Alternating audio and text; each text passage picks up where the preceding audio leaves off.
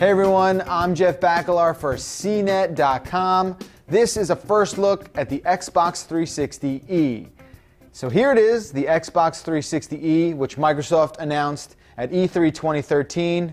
First things first, this is exactly the same as the Xbox 360S. There's literally no difference in terms of the functionality. When you turn on this, it's going to look just like the old one. It is exactly the same. It's not quicker, it's not slower, it's exactly the same. You're not going to notice any difference.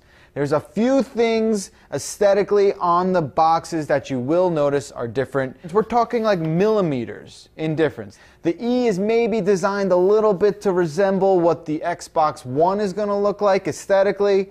Other than that, you're not going to find any difference. They've taken out a USB on this one, so you get four ports instead of five compared to this guy.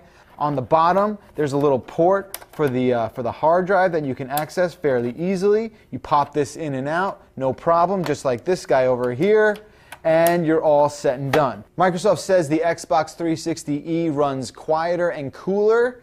Yes, it definitely is a little quieter. Cooler, I couldn't really tell when I had these two running side by side, but it's nowhere near the dramatic jump you got from the original white 360 down to this slim 360S. So on the Xbox 360e, which is the brand new version, it's actually taking out an optical audio output. Now, if you're like me and you have an older receiver that only uses audio through a separate source outside of HDMI, you're kind of out of luck because there's no way to get separate audio out of this system for surround sound, which is kind of a bummer. So what you're going to need to do is you're going to need to either have a receiver that uses audio over HDMI, which most current ones do, or you're going to use this new interface that they've put on the back, which is a breakout eighth inch AV cable. It's 2013.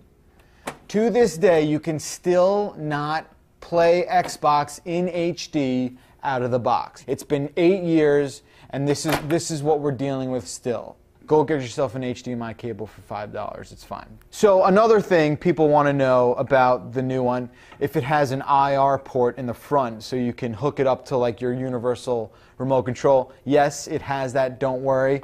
Also on the front, you'll notice compared to the S, uh, there's physical buttons. This was all touch on the S. These are actual physical buttons that you have to push. Not a big deal. I just spit on it a little bit. That's gross. Let's say you have an Xbox 360S and you're like, oh, well, there's a new Xbox out. Should I buy it? I don't know why anyone would want to buy this because there's literally no difference. In fact, you get less for the same amount of money. And plus, I've been on like Amazon and you have these deals right now where you can get this bundled with Arkham City, with Darksiders 2, and it's the same price as this brand new one that's arguably an inferior box. It turns out this is a lot cheaper to make than the 360S. So that's what's happening. You're getting a console for the same price as what you paid last time, but it costs Microsoft a little less to make it. So that's what's going on here. I guess eventually the S will go away and we'll only be left with the E. But uh, for the time being, if you're looking for an Xbox 360 for your first time, you've never had one before, get this one. The S is the way to go. The E, not so sure who it's for. It's not for you, it's not for me. It's really just here to, I don't know, make more money for Microsoft. So that's what I got to say about that.